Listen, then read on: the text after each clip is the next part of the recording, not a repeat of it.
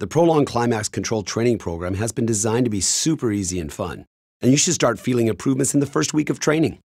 Start by taking your Prolong device out of the packaging, then apply a small amount of lube under the head of your penis. Turn the device on.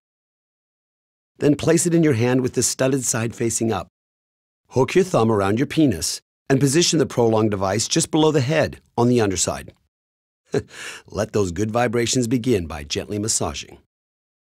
When you feel like you're about to climax, remove the device. This is known as the start-stop technique, and it's important to not allow yourself to ejaculate. At least not yet. Repeat this start-stop process three times in total.